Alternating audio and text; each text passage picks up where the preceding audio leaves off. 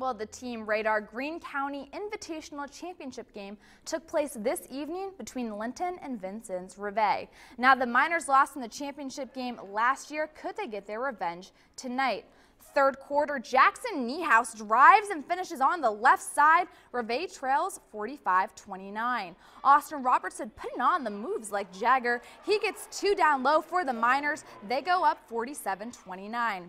D-ball looking a little bit like Chris Paul assisting. Robertson will finish that off for Linton. They lead 52-41. The other D-ball gets in on the assisting action. Trey Bedwell will finish the layup for the Miners 57-34 Linton.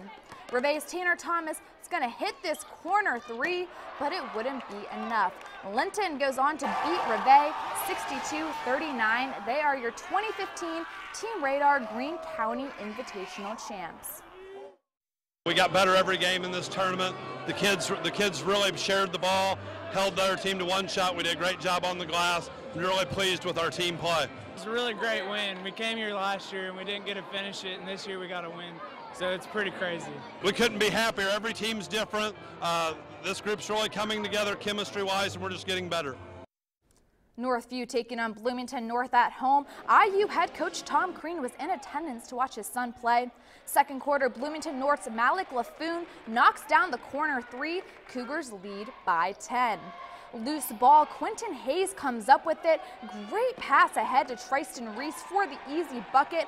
Knights cut the score to eight. Dylan Hyatt hits Hayes here in the corner. He'll knock down the three. The Knights will go into the half down by seven.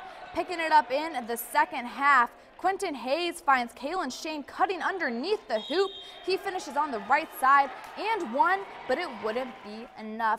Northview falls to Bloomington North 53-42. Quentin Hayes led the Knights in scoring with 15 points. Well, when you're undefeated, you know that going into each game, you're going to get your opponent's best shot. Well, the Barr-Reeve girls basketball team is 15 and 0. That's impressive. And certainly has a target on their back. They took on Vincennes Rivet tonight at home. Rivet's Katie Donovan steps up and knocks down the three from the top of the key. They take an early three-point lead. Here's a great up and under by Barr-Reeve's. Emily Schultes. Vikes trail by one. Off the inbounds play, Olivia Carroll has too much space. She knocks down the three.